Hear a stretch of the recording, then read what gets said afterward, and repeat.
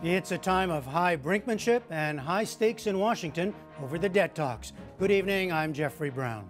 And I'm Gwen Ifill. In just a few moments, President Barack Obama will address the nation from the East Room of the White House. It will be the seventh time he has done so since taking office. Front and center tonight, the administration's charged and tense negotiations with congressional Republicans over the country's $14 trillion debt ceiling the amount the federal government is allowed to borrow, with a looming deadline of August 2nd and the threat of a potential first ever default. We'll carry the president's speech in its entirety, as well as a response that will follow from Speaker of the House John Boehner. His direct negotiations with the president broke down last Friday.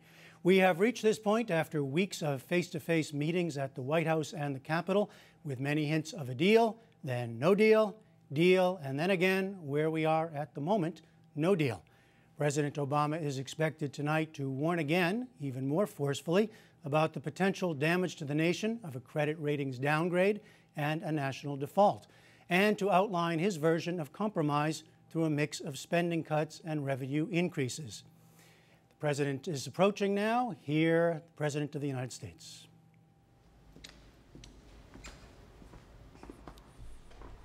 Good evening.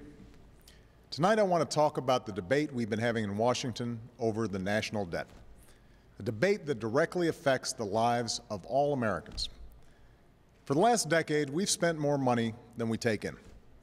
In the year 2000, the government had a budget surplus, but instead of using it to pay off our debt, the money was spent on trillions of dollars in new tax cuts, while two wars and an expensive prescription drug program were simply added to our nation's credit card. As a result, the deficit was on track to top $1 trillion the year I took office.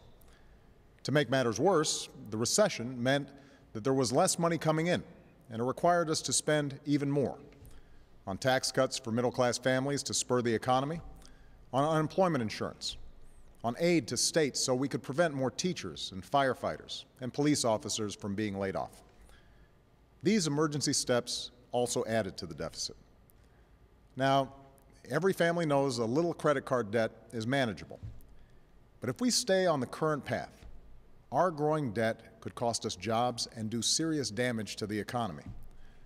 More of our tax dollars will go toward paying off the interest on our loans.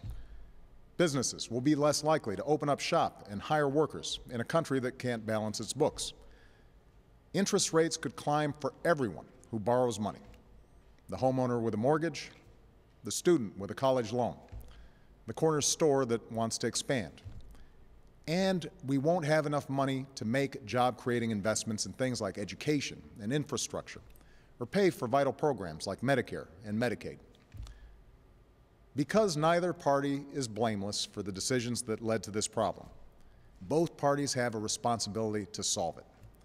And over the last several months, that's what we've been trying to do. I won't bore you with the details of every plan or proposal, but basically the debate has centered around two different approaches. The first approach says, let's live within our means by making serious, historic cuts in government spending. Let's cut domestic spending to the lowest level it's been since Dwight Eisenhower was president. Let's cut defense spending at the Pentagon by hundreds of billions of dollars. Let's cut out waste and fraud in healthcare programs like Medicare. And at the same time, let's make modest adjustments so that Medicare is still there for future generations. Finally, let's ask the wealthiest Americans and biggest corporations to give up some of their breaks in the tax code and special deductions. This balanced approach asks everyone to give a little without requiring anyone to sacrifice too much. It would reduce the deficit by around $4 trillion and put us on a path to pay down our debt. And the cuts wouldn't happen so abruptly that they'd be a drag on our economy or prevent us from helping small businesses and middle class families get back on their feet right now. This approach is also bipartisan. While many in my own party aren't happy with the painful cuts it makes, enough will be willing to accept them if the burden is fairly shared. While Republicans might like to see deeper cuts and no revenue at all, there are many in the Senate who have said, yes, I'm willing to put politics aside and consider this approach because I care about solving the problem. And to his credit, this is the kind of approach the Republican Speaker of the House, John Boehner, was working on with me over the last several weeks. The only reason this balanced approach isn't on its way to becoming law right now is because a significant number of Republicans in Congress are insisting on a different approach, a cuts-only approach, an approach that doesn't ask the wealthiest Americans or biggest corporations to contribute anything at all. And because nothing is asked of those at the top of the income scale, such an approach would close the deficit only with more severe cuts to programs we all care about, cuts that place a greater burden on working families. So, the debate right now isn't about whether we need to make tough choices. Democrats and Republicans agree on the amount of deficit reduction we need. The debate is about how it should be done. Most Americans, regardless of political party, don't understand how we can ask a senior citizen to pay more for her Medicare before we ask a corporate jet owner or the oil companies to give up tax breaks that other companies don't get. How can we ask a student to pay more for college before we ask hedge fund managers to stop paying taxes at a lower rate than their secretaries? How can we slash funding for education and clean energy before we ask people like me to give up tax breaks we don't need and didn't ask for? That's not right. It's not fair. We all want a government that lives within its means, but there are still things we need to pay for as a country. Things like new roads and bridges, weather satellites and food inspection, services to veterans, and medical research. And keep in mind that under a balanced approach, the 98% of Americans who make under $250,000 would see no tax increases at all. None. In fact, I want to extend the payroll tax cut for working families. What we're talking about under a balanced approach is asking Americans whose incomes have gone up the most over the last decade, millionaires and billionaires, to share in the sacrifice everyone else has to make. And I think these patriotic Americans are willing to pitch in. In fact, over the last few decades, they've pitched in every time we passed a bipartisan deal to reduce the deficit. The first time a deal was passed, a predecessor of mine, made the case for a balanced approach by saying this Would you rather reduce deficits and interest rates by raising revenue from those who are not now paying their fair share? Or would you rather accept larger budget deficits, higher interest rates, and higher un unemployment? And I think I know your answer. Those words were spoken by Ronald Reagan. But today, many Republicans in the House refuse to consider this kind of balanced approach an approach that was pursued not only by President Reagan, but by the first President Bush, by President Clinton, by myself, and by many Democrats and Republicans in the United States Senate. So, we're left with a stalemate.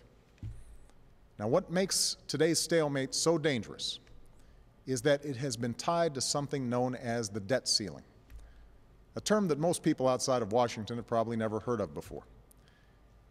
Understand, raising the debt ceiling does not allow Congress to spend more money. It simply gives our country the ability to pay the bills that Congress has already racked up. In the past, raising the debt ceiling was routine. Since the 1950s, Congress has always passed it, and every president has signed it. President Reagan did it 18 times. George W. Bush did it seven times. And we have to do it by next Tuesday, August 2nd, or else we won't be able to pay all of our bills. Unfortunately, for the past several weeks, Republican House members have essentially said that the only way they'll vote to prevent America's first ever default is if the rest of us agree to their deep spending cuts only approach.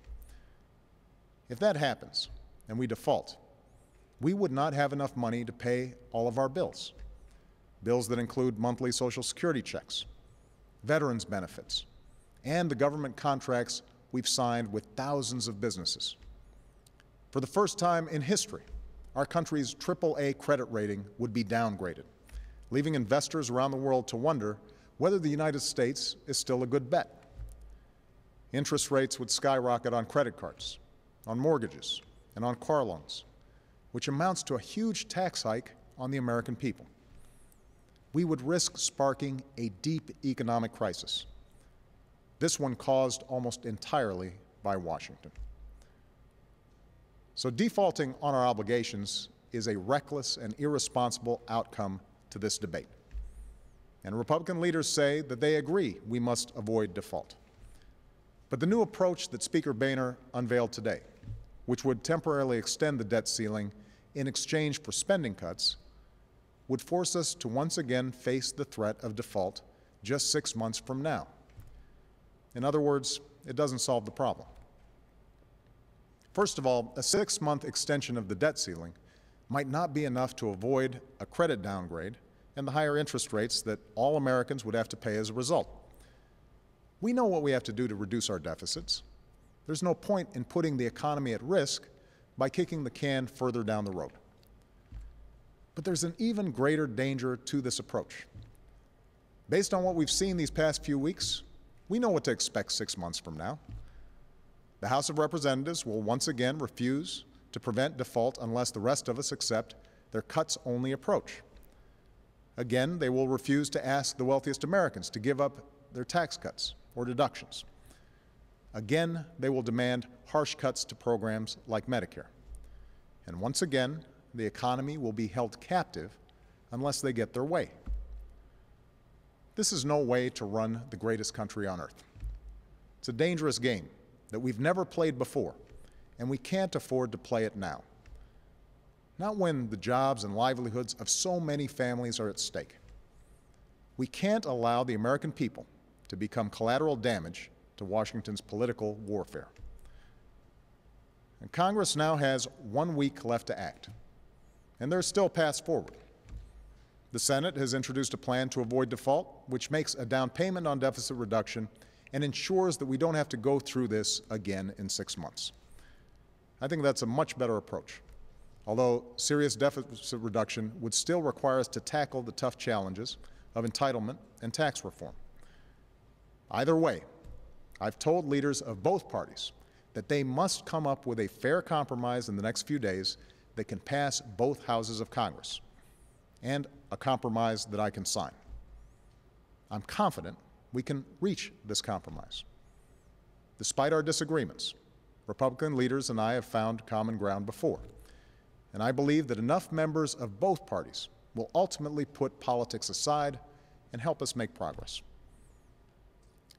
Now, I realize that a lot of the new members of Congress and I don't see eye to eye on many issues. But we were each elected by some of the same Americans for some of the same reasons. Yes, many want government to start living within its means. And many are fed up with a system in which the deck seems stacked against middle class Americans in favor of the wealthiest few. But do you know what people are fed up with most of all? They're fed up with a town where compromise has become a dirty word. They work all day long, many of them scraping by just to put food on the table. And when these Americans come home at night, bone tired, and turn on the news, all they see is the same partisan three ring circus here in Washington. They see leaders who can't seem to come together and do what it takes to make life just a little bit better for ordinary Americans. They're offended by that, and they should be. The American people may have voted for divided government, but they didn't vote for a dysfunctional government. So I'm asking you all to make your voice heard. If you want a balanced approach to reducing the deficit, let your member of Congress know. If you believe we can solve this problem through compromise, send that message. America, after all, has always been a grand experiment in compromise. As a democracy made up of every race and religion, where every belief and point of view is welcomed, we have put to the test time and again the proposition at the heart of our founding that out of many, we are one. We've engaged in fierce and passionate debates about the issues of the day. But from slavery to war, from civil liberties to questions of economic justice, we have tried to live by the words that Jefferson once wrote Every man cannot have his way in all things. Without this mutual disposition, we are disjointed individuals, but not a society. History is scattered with the stories of those who held fast to rigid ideologies and refused to listen to those who disagreed. But those are not the Americans we remember. We remember the Americans who put country above self and set personal grievances aside for the greater good. We remember the Americans who held this country together during its most difficult hours, who put aside pride and party to form a more perfect union. That's who we remember. That's who we need to be right now. The entire world is watching. So let's seize this moment to show why the United States of America is still the greatest nation on earth. Not just because we can still keep our word and meet our obligations, but because we can still come together as one nation. Thank you. God bless you. And may God bless the United States of America.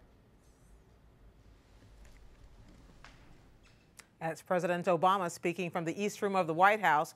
We will hear shortly from House Speaker Boehner. But first, some insight from our political editor, David Chalian, who joins us tonight from New York.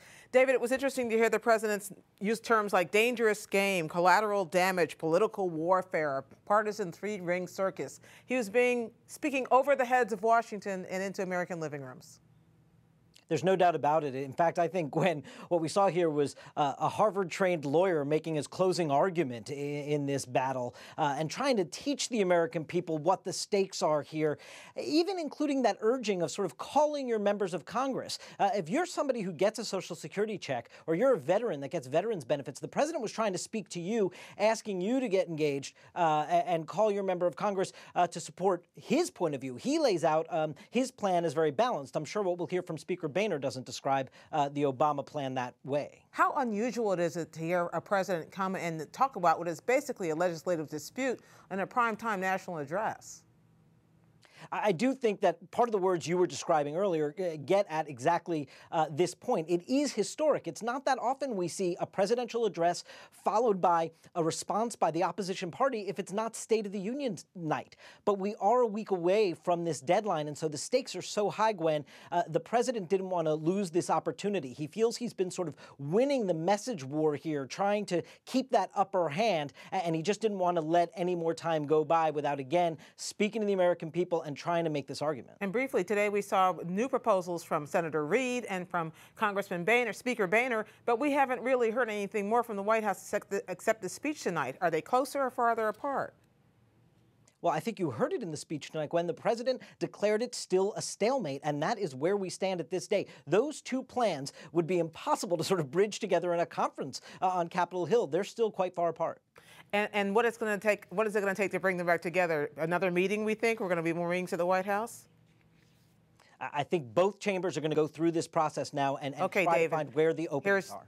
Okay, here's Speaker John Speaker Boehner. of the whole House, of the members of both parties that you elect. These are difficult times in the life of our nation. Millions are looking for work and have been for some time. And the spending binge going on in Washington is a big part of the reason why. Before I served in Congress, I ran a small business in Ohio. I was amazed at how different Washington, D.C. operated than every other business in America. Where most American businesses make the hard choices to pay their bills, live within their means, in Washington, more spending and more debt is business as usual. Well, I've got news for Washington. Those days are over. President Obama came to Congress in January and requested business as usual. He had another routine increase in the national debt, but we in the House said, not so fast. Here was a president asking for the largest debt increase in American history on the heels of the largest spending binge in American history. And here's what we got for that massive spending binge a new health care bill that most Americans never asked for, a stimulus bill that's more effective in producing material for late night comedians than it was in producing jobs, and a national debt that has gotten so out of hand it sparked a crisis without precedent in my lifetime or yours. The United States cannot default on its debt obligations. The jobs and savings of too many Americans are at stake. What we told the President in January was this that the American people will not accept an increase in the debt limit without significant spending cuts and reforms. And over the last six months, we've done our best to convince the President to partner with us to do something dramatic to change the fiscal trajectory of our country, something that will boost confidence in our economy, renew a measure of faith in our government, and help small businesses get back on track. Last week, the House passed such a plan, and with bipartisan support. It's called the Cut, Cap, and Balance Act. It cuts and caps government spending and paves the way for a balanced budget amendment to the Constitution, which we believe is the best way to stop Washington from spending money that it doesn't have. Before we even pass the bill in the House, the President said he would veto it. I want you to know I made a sincere effort to work with the President to identify a path forward that would implement the principles of cut, cap, and balance in a manner that could secure bipartisan support and be signed into law. And I'll tell you, I gave it my all. Unfortunately, the President would not take yes for an answer. Even when we thought we might be close on an agreement, the President's demands changed. The President has often said we need a balanced approach, which in Washington means we spend more and you pay more. Having run a small business, I know those tax increases will destroy jobs. The President is adamant that we cannot make fundamental changes to our entitlement programs. As a father of two daughters, I know these programs won't be there for them and their kids unless significant action is taken now. And the sad truth is that the President wanted a blank check six months ago, and he wants a blank check today. This is just not going to happen. You see, there's no stalemate here in Congress. The House passed a bill to raise the debt limit with bipartisan support. And this week, while the Senate is struggling to pass a bill filled with phony accounting and Washington gimmicks, we're going to pass another bill, one that was developed with the support of the bipartisan leadership of the U.S. Senate. Obviously, I expect that bill can and will pass the Senate and be sent to the President for a signature. And if the President signs it, the crisis atmosphere that he has created will simply disappear. The debt limit will be raised, spending will be cut by more than $1 trillion, and a serious bipartisan committee of the Congress will begin the hard but necessary work of dealing with the tough challenges our nation faces. The individuals doing this work will not be outsiders, but elected representatives of the people doing the job they were elected to do as outlined in the Constitution. Those decisions should be made based on how they're going to affect people who are struggling to get a job, not how they will affect some politician's chances of getting reelected. This debate isn't about President Obama and House Republicans. It isn't about Congress and the White House. It's about what's standing between the American people and the future we seek for ourselves and our families. You know, I've always believed the bigger the government, the smaller the people. And right now, we've got a government so big and so expensive, it's sapping the drive out of our people and keeping our economy from running at full capacity. The solution to this crisis is not complicated. If you're spending more money than you're taking in, you need to spend less of it. There's no symptom of big government more menacing than our debt. Break its grip, and we begin to liberate our economy and our future. We are up to the task, and I hope President Obama will join us in this work.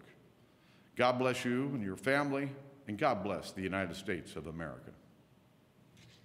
That was Speaker John Boehner speaking from the ceremonial offices at the U.S. Capitol. And now we go back to NewsHour political editor David Chalian. We have a little bit of warring bully pulpits. I think that we heard words from him like blank check and gimmicks to talk, describe what the Democrats are talking about. David, is that what you heard?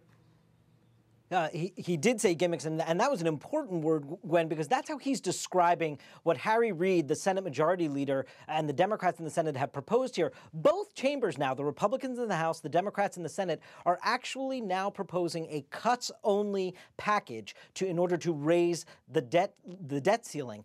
But they go about those cuts very differently. And Speaker Boehner is saying that the Democrats in the Senate are relying on gimmicks by saying that they're going to cut a trillion dollars by unwinding the Iraq and Afghanistan wars, and that that shouldn't be part of budgeting this mm-hmm. this process here. The other thing that I thought Speaker Boehner said that was quite interesting was that he kept saying that this is a crisis that the president has created. So you do see some of that blame game going on, as you were saying, from each of these bully pulpits. Yeah, he said this there this was no stalemate in Congress, even though after watching the two plans put out there that neither agreed on today, you would have thought the stalemate was happening somewhere.